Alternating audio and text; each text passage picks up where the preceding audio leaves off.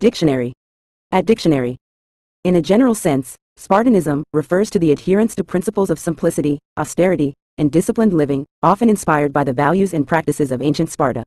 It embodies a lifestyle or mindset characterized by a rejection of excess, luxury, or indulgence in favor of a more frugal and disciplined approach to life. Those who embrace Spartanism prioritize self-discipline, resilience, and efficiency, focusing on essentials and minimizing distractions or extravagance. Spartanism can manifest in various aspects of life, including personal habits, living conditions, and philosophical outlook, emphasizing the virtues of simplicity, perseverance, and self-reliance.